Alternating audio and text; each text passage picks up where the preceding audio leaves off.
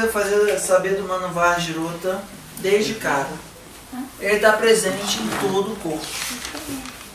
Se o Madhyadato ele é algo que está restrito a algumas áreas do nosso corpo, sistema nervoso, etc. e tal, o Mano ele está no Rasa, no Rakta, no Mansa, no Meda, no Asa, no Maja, no Shukra, no Purisha, no Mutra, no Sueda, no Ana, no Prana, no ah, Udaka, todos os esrotas por detrás há o Big Boss, que é o Varra Esrota. Porém, ele é alimentado pelo prana, mas ele também em algum grau governa o sistema respiratório. Certo? Tem muitas coisas no Ayurveda que são retroalimentadas. O prana aumenta o ar, é, alimenta o Agni, governa o Agni, o Agni retorna o prana ao sistema. Certo? Então essa visão mais linear, ah, isso daqui controla tudo e não depende de ninguém, a perspectiva do Ayurveda tem gente que controla tudo, mas depende do retorno da galera. Certo? Bom, então é, é muito interessante ver que pro Ayurveda o centro da mente está no coração. Mas não é o, só o coração fisiológico. Ele está nesse centro daqui, nesse chakra. Ok?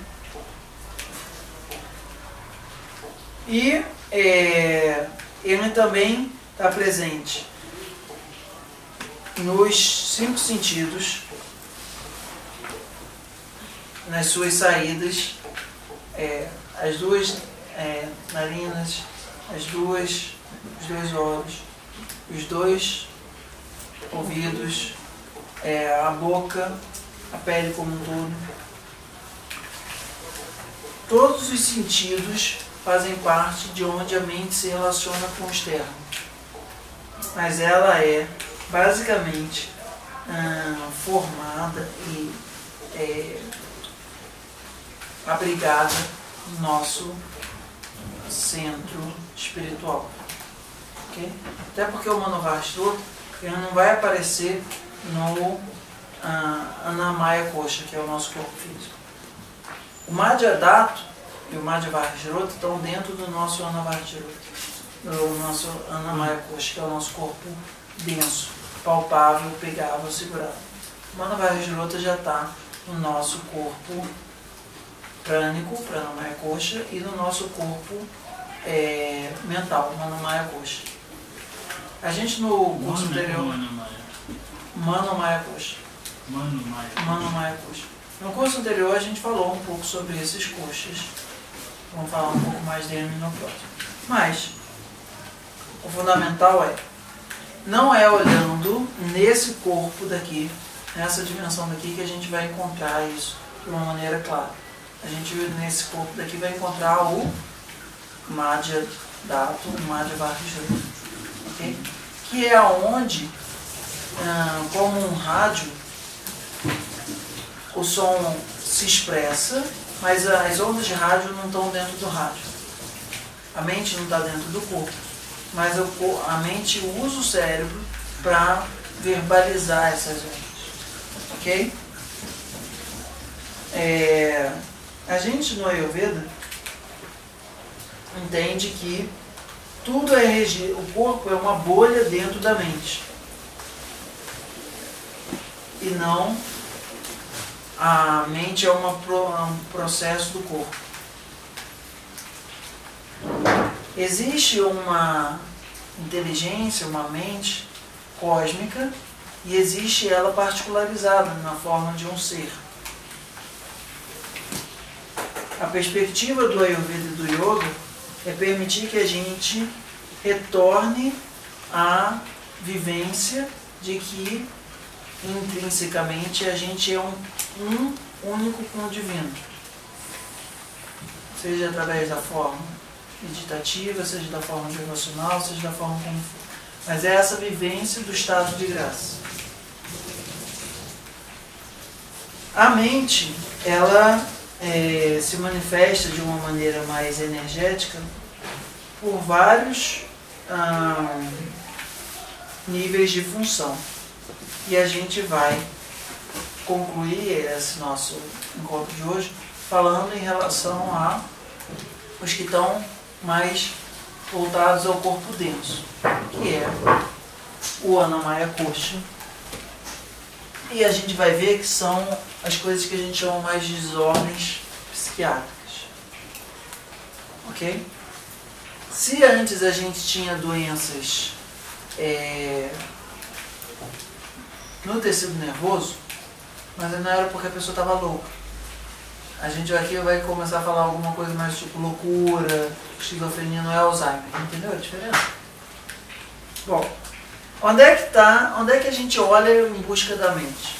Na perspectiva da Ayurveda, a gente olha isso através do que a gente chama de constituição dos, da natureza da mente da pessoa. Não vou entrar muito nesse tema, mas é basicamente para ver se ela tem uma postura mais voltada ao autocuidado, voltada à conquista externa, ou voltada a uma vida entorpecida.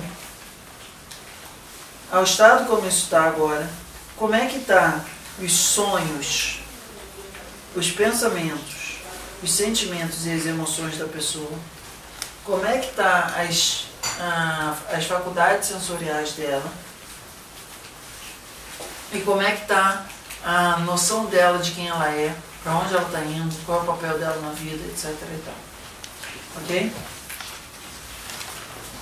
Quais são os sinais e sintomas de que o Manovar Girota está é, funcionando de uma maneira deturpada? Pensamento negativo repetitivo.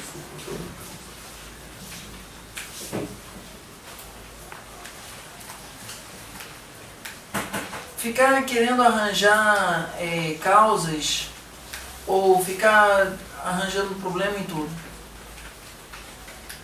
Ah, mas por que, que você fez isso dessa forma?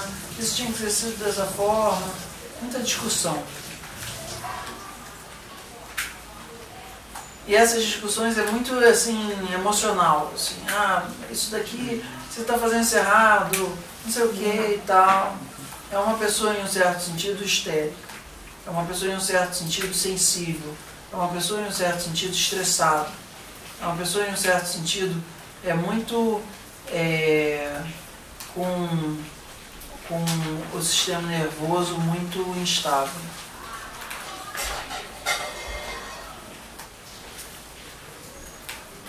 Quando a pessoa fica durante muito tempo estressada, isso consome odios da mente e aí ela passa a ser uma pessoa muito explosiva, irritadiça, medrosa, qualquer coisa assim. Daquele ponto assim, caiu uma agulha no chão.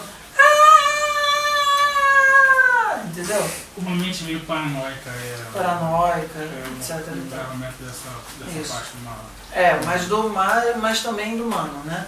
É um comportamento. Não, falando humano, na verdade. É, no, né? é no sentido de que a perturbação é principalmente psicológica. Certo? Uma coisa meio mais pica. Oi? A paranoia desse caso é mais. Depende, pode ser válido. É, falta de clareza, confusão mental, indecisão, concentração ruim. É, olhar as coisas de uma maneira muito esquisita. Só, só aquela pessoa, só você, só qualquer pessoa vê aquilo daquela forma. Todo mundo está dizendo para você que não é e você está, não, é assim mesmo etc. E tal. Como? Perda de sentido na vida, perda de direção na vida, falta de sentido.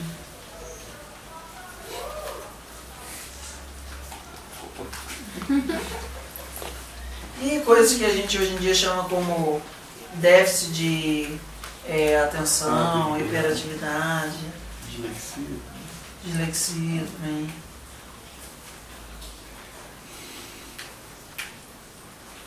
falta de tranquilidade na mente. Não consegue desligar a mente. Causas disso. Que é a parte que é pra gente olhar com mais tranquilidade. principal causa disso é perda de espiritualidade.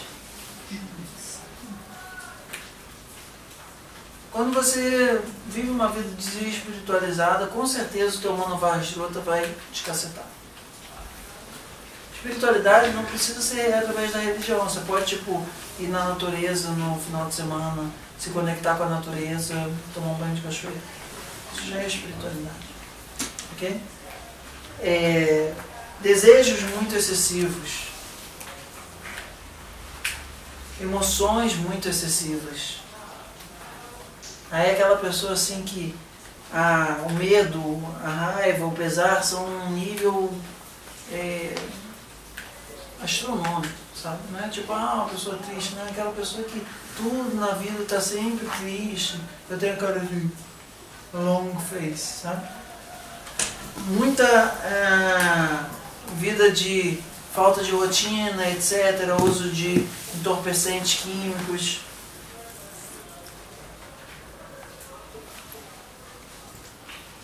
não respeitar o seu nível de hum, energia diante das coisas que você está para fazer.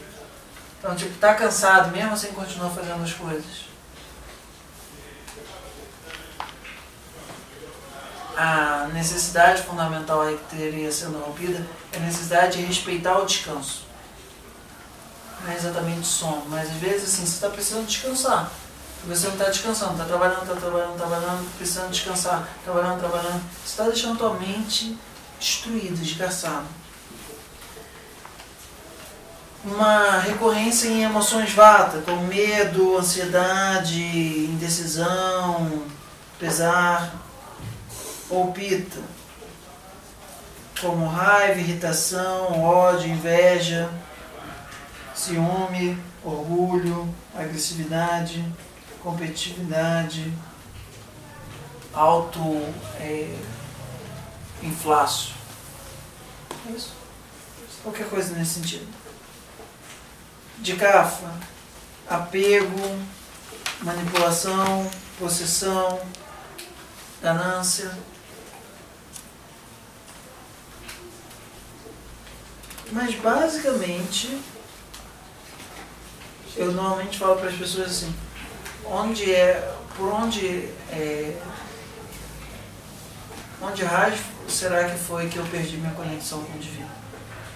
A principal terapia psicológica para o Ayurveda, Yoga, etc. É, é vivência do divino. Não quer dizer que só pelo fato de que você vai na igreja você nunca vai ter problema, mas a ideia é que assim, perda do, teu contato, do contato teu com o todo é a principal causa de perturbação da mente. Mas tem alguma coisa com você ser ateu, por exemplo? Não, você. Você pode ser ateu, mas tem uma espiritualidade. É, é espiritualidade não é religião. Né? Você okay. pode ser um ateu que acredita que fazer o bem para o mundo é o importante. Isso é a tua espiritualidade. Certo? É a sensação de pertencimento. Uhum. É a sensação de sentido de que a vida ela é pró-vida certo? Se você é um ateu que acredita que todas as coisas são é, difíceis, se você é um ateu que acredita que todas as coisas vão precisar de luta, é, de disputa, etc. Uhum. Então, isso vai deixar a tua mente é, desgastada. Uhum. Mas você pode ser uma pessoa que vive na Suécia e acredita num estado de bem-estar social. Não tem o menor problema. Uhum. A tua espiritualidade pode ser a tua humanidade, pode ser a tua família. Uma sensação de gratidão também é um exercício né, de espiritualidade, de certa forma. É, gratidão, é, serviço também. Tá? Então, quando a nossa mente, é, o Mano Vargas Lota fica. Essa parte que não precisa anotar tanto.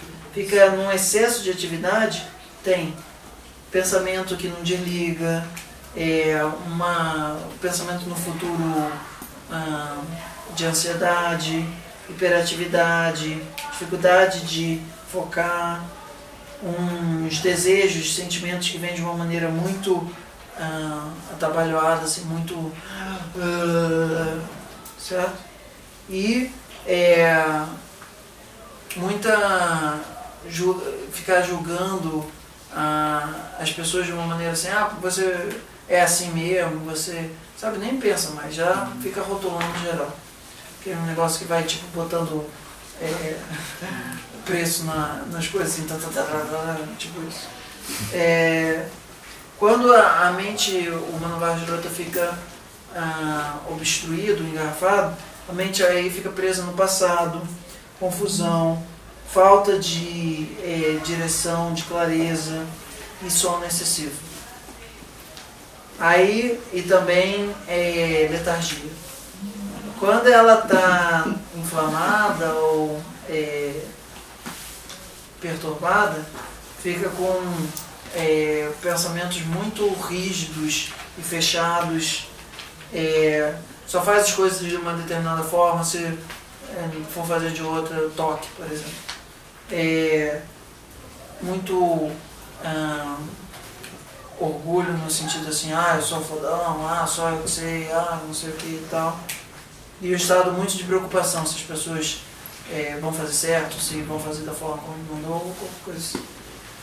E no estado onde está bizarro o fluxo, é, alucinação, esquizofrenia, é, vícios diversos, é, vertigem, é, é, perda de contato com a realidade, autismo, etc.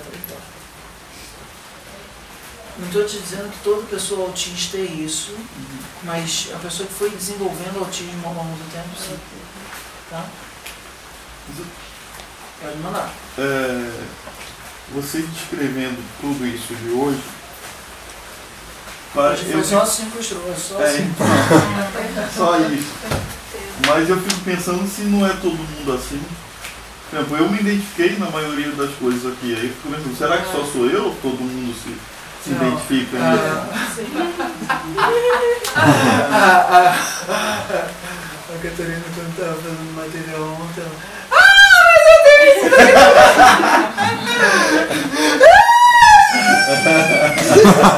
Chegou no malhado.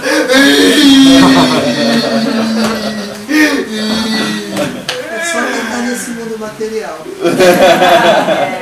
A ideia é a seguinte, a gente vive um mundo doentio, não porque as pessoas estão procurando dinheiro ou qualquer coisa assim, não só por conta disso, mas porque não estão respeitando o fluxo biológico. No momento agora que a gente está aqui, eu estou com sono, eu posso não estar mostrando isso. Um monte de gente aqui com sono. Se a gente não para e dorme, a gente está ficando doente. Simples assim. Quer dizer que a gente nunca mais vai organizar curso, etc. e tal? Não. Mas, no médio prazo, eu programo que a minha vida eu vá dormir às 8 e vai acordar às 4. Eu já estou atendendo muito menos de noite. No médio prazo, a gente vai fazendo as alterações que vão sendo cabíveis com um estilo de vida e hábitos que levam já vidas aí frente, certo?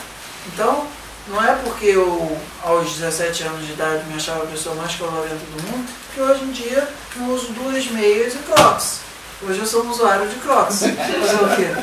Mas eu vejo o quanto isso é importante na minha vida, certo? Eu hoje sou uma pessoa que ando de cachecol, eu não sei o que, tem um monte de coisa esquisita que você depois de um dia fala assim, o que, que você prefere? Ficar com o lado cheio de cabelo ou ficar burro? Ou ficar é, ansioso, etc. e tal. Eu prefiro ficar com o lado cheio de cabelo. Olha Cabelo que- cheio de Olha,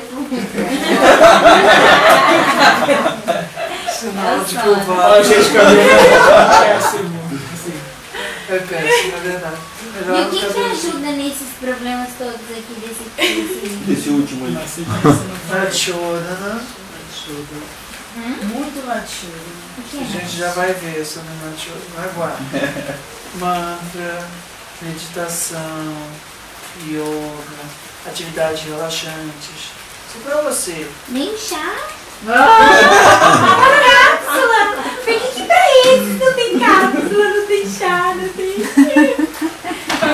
Tem. Todos esses têm. Mas é, a ideia é a seguinte, no Adiadato a gente resolve muito com alimentação.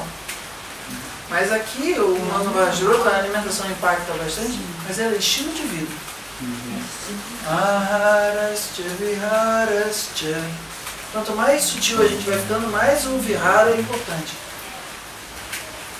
Yasya dosha gunei sama Datu vir vigunaschapi Shrotasam sapradushaka Então, essa, esse slogan que a gente leu há, sei lá, umas oito horas atrás, eu espero que não esteja com algum grau de diferença do quanto ele faz sentido. A gente ainda vai falar dos slotas de é, pita, café, etc e tal. Mas eu queria mostrar para vocês que dá para entender alguma coisa. Certo? Eu tenho bastante confiança em falar para vocês que sem essa sessão da gente aqui hoje, você pegar um livro desse de fisiologia de Ayurveda e ler, não é o certo? É com ambos, assim, não funciona direito.